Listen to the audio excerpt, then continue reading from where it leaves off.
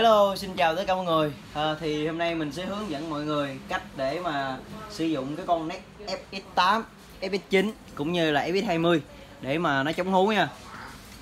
Thì cách đầu tiên thì rất là đơn giản thôi. Thì trên cái con này nó đã có một cái nút chống hú tên là FBX như thế này. Chúng ta chỉ cần bấm vô là xong.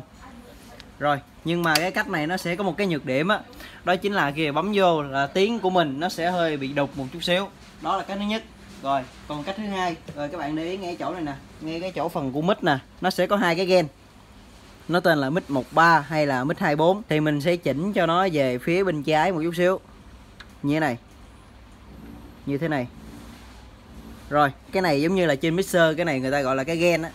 Thì cái này ở bên ngoài không ai chỉ các bạn đâu. Cái này mình biết thì mình chỉ cho các bạn. Cái này không ai mà chỉ không đâu. Rồi, nếu mà các bạn kết hợp hai cái luôn bấm cái này vô nữa.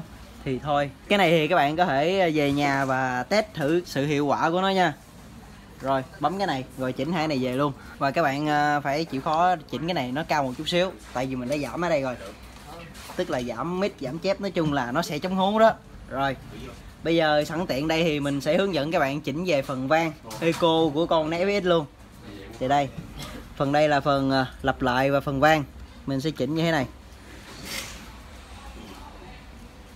Rồi, hát nhạc trẻ hay hát nhạc gì cũng đều chỉnh như thế này thôi. Rất là đơn giản. Còn ít hay nhiều, các bạn chỉnh ở đây. Eco level. Rồi, xong.